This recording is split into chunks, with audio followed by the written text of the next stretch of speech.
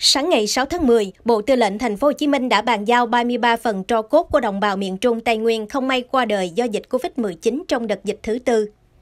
Từ sáng sớm, chiếc xe cấp cứu của quân khu 5 vượt ngàn cây số đã có mặt tại nhà tang lễ Thành phố Hồ Chí Minh quận Bình Tân. Bên trong nhà tang lễ, cán bộ chiến sĩ Bộ Tư lệnh Thành phố Hồ Chí Minh đang dọn dẹp hương khói cho hương linh đồng bào qua đời vì dịch Covid-19 tạm thờ phụng tại đây.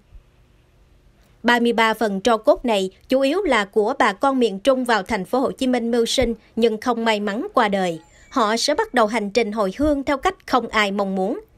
Thượng tá Quỳnh Thanh Hải, Phó trưởng phòng chính sách quân khu 5 cho hay, chuyến đi này đoàn sẽ trao tro cốt người dân thuộc địa bàn 10 tỉnh thành, kéo dài từ Ninh Thuận đến Đà Nẵng và 4 tỉnh Tây Nguyên. Tôi nghĩ đây là một việc làm rất là thiêng liêng, trách nhiệm cao cả của quân đội nhân dân Việt Nam đối với nhân dân không những là một đội quân chiến đấu mà đây là một đội quân công tác một đội quân mà có thể là vì nhân dân phục vụ.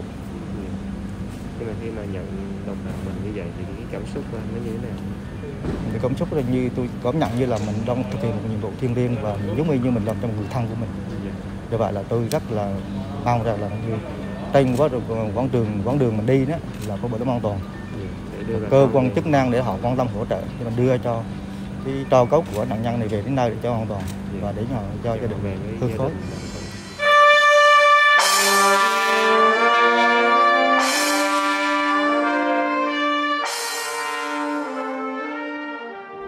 Khúc nhạc tưởng niệm vang lên, ai trong buổi lễ cũng xót thương cho số phận những người con xa xứ.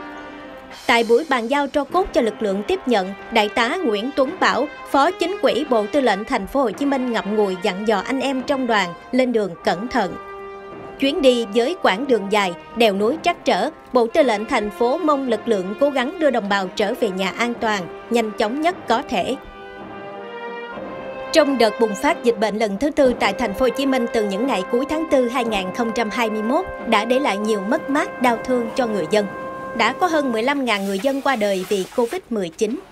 Với đạo lý, nghĩa tử là nghĩa tận, Xuất phát mệnh lệnh trái tim của người chiến sĩ, Bộ Tư lệnh thành phố đã phối hợp với cơ quan đơn vị địa phương tổ chức các đoàn tiếp nhận, bàn giao 226 bộ tro cốt người dân của các tỉnh trên địa bàn quân khu 7. Đồng thời, Bộ Tư lệnh thành phố cũng đã tổ chức bàn giao 273 bộ tro cốt về với gia đình, người thân các nạn nhân tử vong ở các tỉnh thành phố trên địa bàn quân khu 9.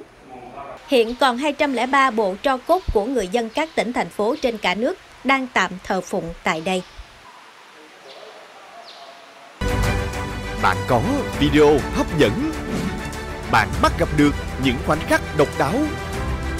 Hãy gửi về plo a vòng pháp luật tb.vn để nhận ngay quà tặng và những bút hấp dẫn